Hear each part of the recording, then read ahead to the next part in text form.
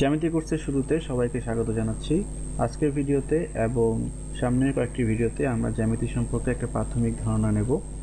প্রাথমিক ধারণা বলতে আমি যেটা বুঝিয়েছি সেটা হচ্ছে যে জ্যামিতি শেখার শুরুতে একজন শিক্ষার্থী জ্যামিতি যে বিষয়গুলো প্রথম প্রথম শেখে সেই বিষয়গুলোই আমরা এই কোর্সে আলোচনা করব। উদাহরণস্বরূপ আমি বলতে পারি যে আসলে একজন শিক্ষার্থী যখন জ্যামিতি শেখাটা শুরু করে তখন সে আহ, বিন্দুর ধারণাটা আগে নেয়। যেমন বিন্দু কি যে আমরা যদি সাদা কাগজে এরকম কয়েকটা ছোট ছোট বিন, ফোঁটা দিই, তাহলে সেগুলো হচ্ছে বিন্দু। তো বিন্দু শেখার পরে আমরা সরলরেখা সম্পর্কে ধারণা নেই। যেমন দুটি বিন্দুর সংযোগে সরলরেখা তৈরি হয়। তো বিন্দু, তারপর সরলরেখা এবং বিন্দু এবং সরলরেখা শেখার পরে আমরা কোন সম্পর্কে ধারণা নেই। দুইটা সরলরেখা একটা নির্দিষ্ট বিন্দুতে মিলিত হলে সেখানে একটি কোণ উৎপন্ন হয়। তো এই বিন্দু সরলরেখা শেখার পর আমরা কোণ সম্পর্কে ধারণা নিই। এরপরে পরে আমরা আরেকটা ধারণা নিই, সেটা হচ্ছে তল। তল জিনিসটাকে সেটা বোঝার জন্য আমি একটা বক্স আঁকি। ধরা যাক এটা একটা বক্স। একটা চতুর্ভুজ আকৃতির বক্স। তো এই বক্সের এটা একটা তল। এটা একটা তল, এটা একটা তল, যে সাইডগুলো আছে, যে সাইডগুলো আছে সেগুলোকে একটা তল বলে। তো আমি এটা অন্যভাবে বুঝতে পারি। ধরা যাক আমাদের ঘরের কোনা বা ক্লাসরুমের যে কোনাটা আছে, সেটাকে আমি এভাবে আঁকতে পারি। ধরা যাক এটা হচ্ছে আমার কর্নার। তো এই কর্নারে এটা হচ্ছে একটা দেয়াল। এটা হচ্ছে আরেকটা দেয়াল।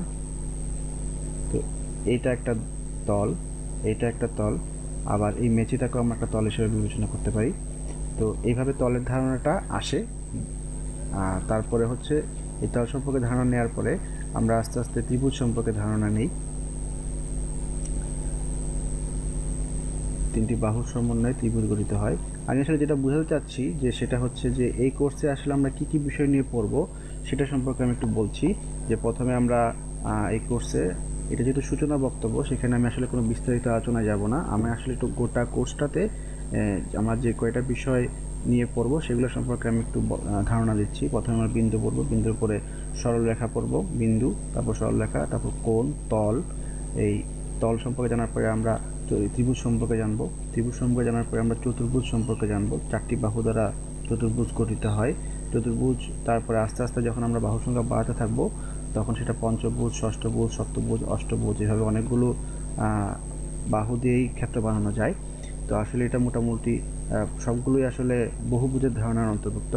তো বহুভুজ সম্পর্কে ধারণা নেওয়ার পরে আমরা বৃত্ত সম্পর্কে ধারণা নেব। বৃত্তর একটা কেন্দ্র থাকে। এবং তো এখন এই বিষয়গুলো, এই যে বিন্দু সরলরেখা কোণ, তল, ত্রিভুজ, চতুর্ভুজ, বহুভুজ, বৃত্ত, এগুলো সম্পর্কে জানার পাশাপাশি এগুলোর আনুষাঙ্গিক ধর্মগুলো, আনুষাঙ্গিক বিষয়াদিও আমরা সংক্ষেপে শিখব। অর্থাৎ জ্যামিতি শেখার শুরুটাতে একজন শিক্ষার্থী এই এই আকার, আকৃতি, এই শেপগুলো সম্পর্কে প্রথমে ধারণা নেয়। তো এই কোর্সে আমাদের আলোচনাটা আমরা এর মধ্যে সীমাবদ্ধ রাখব। তো আজকে যেহেতু প্রথম লেকচার আমি আসলে যেটা করতে চেয়েছি সেটা হচ্ছে যে জ্যামিতি কোর্সে আমরা কী পড়ব সেটা নিয়ে একটু বলার পাশাপাশি জ্যামিতির একটা প্রাথমিক ইতিহাস সম্পর্কে একটু বলা দরকার। তবে তোমরা যারা এই ভিডিওটা ইতিমধ্যে দেখছ, তোমরা নিশ্চয়ই খেয়াল করে থাকবে যে জ্যামিতিকে আসলে ইংরেজিতে জিওমেট্রি বলে। এখানে আমি জিওমেট্রি শব্দটা লিখেছি এবং ইংরেজিতে জিওমেট্রি শব্দটি এসেছে দুটি গ্রিক শব্দ থেকে, একটা হচ্ছে জিও একটা হচ্ছে মেট্রন এই জিও গ্রিক শব্দটার অর্থ হচ্ছে ভূমি এবং এই ম্যাট্রন শব্দটার অর্থ হচ্ছে পরিমাপ। তো জিওমেট্রি শব্দটার অর্থ দাঁড়াচ্ছে ভূমি পরিমাপ। এখন ভূমি পরিমাপ নামকরণটা কেন হলো? সেটার কারণটা খুঁজতে গেলে একটু ইতিহাস ফিরে তাকাতে হয়। তো এই ইতিহাসটা সূচনা হয়েছিল আসলে মিশরে প্রায় তিন হাজার খ্রিস্টপূর্বের দিকে। তিন হাজার খ্রিস্টপূর্বের দিকে মিশরীয় সভ্যতার ইতিহাস এটা। মিশরীয় শাসকদের তখন ফারাও বলা হতো। তো একবার এক ফারাও ঠিক করলেন যে তার রাজ্যে যতজন কৃষক আছেন সবাই যে ফসলটা ফলান, সেই ফসলের উপর তাদেরকে কর দিতে হবে।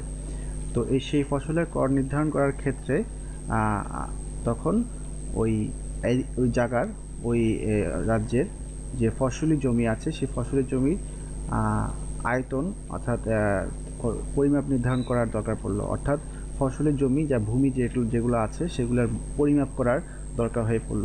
যেমন উদাহরণস্বরূপ আমি যদি একটা ছবি আঁকি, সেটা হচ্ছে ধরা যাক এটা আমার সেই অঞ্চলটা। তো সেই অঞ্চলটাতে বিভিন্ন জনের বিভিন্ন আকারের জমি আছে। তো এক একজনের জমির আকার ভিন্ন হতে পারে, কিন্তু তার পরিমাপটা আমাদের নির্ধারণ করতে হবে। সেটা করতে গিয়েই ভূমি পরিমাপের একটা পদ্ধতি তারা উদ্ভাবন করল। তো এই ভূমি পরিমাপের নামকরণটাই আসলে সেই জ্যামিতি নামকরণের উৎস। যদিও তারপরে মিশরীয়দের হাত ধরে গ্রিকদের কাছে জ্যামিতির জ্ঞানটা পৌঁছায়, তো গ্রিকরা আরও বিস্তারিতভাবে জ্যামিতি অধ্যয়ন করে, জ্যামিতি সম্পর্কে তারা একটা শাস্ত্রের, জ্যামিতি শাস্ত্রের সূচনা করে।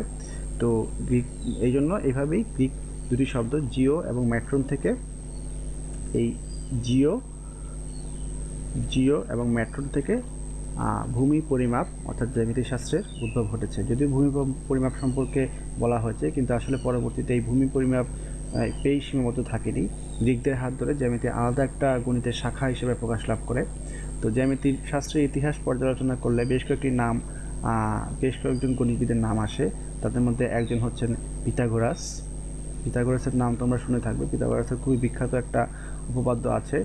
এই উপপাদ্যটা তোমরা যখন উঁচু ক্লাসে একটু উপরে এই কোর্সটা পড়ার পরে, আরেকটু যখন জ্যামিতি পড়াশোনায় এগোবে, তখন পিথাগোরাসের উপপাদ্যটি তোমরা পড়বে। পিথাগোরাস, তারপরে হচ্ছে থেলিস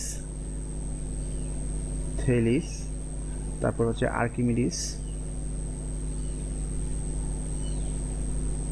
আর্কিমিডিস এবং অবশ্যই ইউক্লিড। এই নামগুলো অবশ্যই অবশ্যই জ্যামিতি অধ্যয়ন করার সময় আমাদের সামনে আসবে। বিশেষ করে ইউক্লিডের নাম তো অবশ্যই আসবে। ইউক্লিড সর্বপ্রথম জ্যামিতিকে একটি শাস্ত্র আকারে প্রকাশ করেন অর্থাৎ তার একটা গ্রন্থ ছিল। গ্রন্থটার নাম হচ্ছে ইলিমেন্টস। ইংরেজিতে এটাকে আসলে এইভাবে লেখে, elements E L N আমি একটু সুন্দর করে লিখি এলটা আমার বাঁকা হয়ে গিয়েছে। এই E L E M E N T T S এই ইলিমেন্টস খুবই বিখ্যাত একটা গ্রন্থ এবং এটার প্রায়, এটার তেরোটি খণ্ড আছে। তেরো খণ্ডে, তেরো খণ্ডের বই এটা। তো এলিমেন্টস খুবই প্রভাবশালী একটা বই ছিল তৎকালীন সভ্যতায়। এবং পরবর্তীতে পশ্চিমা সভ্যতার বিকাশে এলিমেন্টস খুব গুরুত্বপূর্ণ ভূমিকা পালন করে। তো এটা ইউক্লিস এই এলিমেন্টস বইটি লেখেন এবং এই এলিমেন্টস বইটির মাধ্যমেই জ্যামিতি গণিতের একটি শাখা হিসাবে আত্মপ্রকাশ করে এবং খুবই প্রভাবশালী একটি বই ছিল। তৎকালীন সভ্যতায় আসলে এমনটা বলা হতো যে কেউ যদি এলিমেন্টস বইটি পড়ে, সেটি বুঝতে না পারে, তাহলে আসলে তাকে প্রকৃত শিক্ষিত বলা হতো না। এতটাই প্রভাবশালী বই ছিল এলিমেন্টস। তো ইউক্লিডের অবদানে এলিমেন্টস বইটি রাখা হয় এবং এই বইটার মধ্যে মাধ্যমেই তিনি সর্বপ্রথম যুক্তি তর্ক প্রমাণ অনুসিদ্ধান্ত এসবের ভিত্তিতে জ্যামিতিকে একটি জ্ঞানের শাখা হিসেবে, গণিতের একটি শাখা হিসাবে প্রকাশ করেন।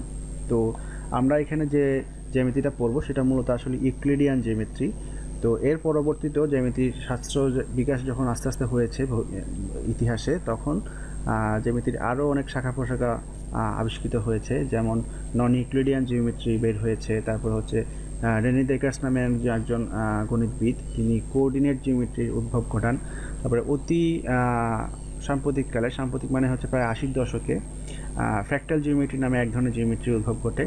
তো এগুলা যখন আসলে আমরা স্কুল কলেজ বিশ্ববিদ্যালয় যে পর্যায়ে পড়াশোনায় এগোবো, তখনই আমরা জ্যামিতির বিভিন্ন শাখা প্রশাখা সম্পর্কে জ্যামিতির আরও বিভিন্ন ধরনের জ্যামিতি সম্পর্কে জানব। তো আপাতত আমরা এই কোর্সে ইউক্লিডিয়ান জ্যামিতি পড়ার জন্য যে প্রাথমিক বিষয়গুলো জানা লাগে, অর্থাৎ বিন্দু, সরলরেখা, কোণ, তল, চতুর্ভুজ, বহুভুজ, বৃত্ত, এই ধারণাগুলো সম্পর্কে আমরা এই কোর্সে জানব। তো মূলত এগুলোই ছিল আমার আজকের লেকচারের উদ্দেশ্য, জ্যামিতি কি সেটা বলা, আর এই কোর্সে আমরা কি কি পড়ব এবং জ্যামিতির একটি সংক্ষিপ্ত ইতিহাস সম্পর্কে শিক্ষার্থীদের জানানো। তো সামনের লেকচারগুলোতে আমরা যেটা করব, আমরা আস্তে আস্তে আমাদের বিস্তারিত পড়াশোনায় যাব। যেমন হচ্ছে আমরা বিন্দু সম্পর্কে জানব কোন সম্পর্কে জানব, সরলরেখা সম্পর্কে জানব, তল, চতুর্ভুজ, বহুভুজ, ত্রিভুজ বৃত্ত, ত্রিভুজ, চতুর্ভুজ, বহুভুজ, পঞ্চভুজ এবং সাথে সাথে বহুভুজ। আরও বাহু বাড়িয়ে বেরিয়ে ক্ষেত্র বানানো যায়। তো এই বৃত্ত, এগুলো সম্পর্কে জানব। তো মূলত এগুলোই ছিল আমাদের আজকের লেকচারের সারবস্তু। তো পরবর্তী লেকচারের সবার সাথে আবার দেখা হবে। তত পর্যন্ত সবাই ভালো থাকুন, সুস্থ থাকুন। ধন্যবাদ সবাইকে।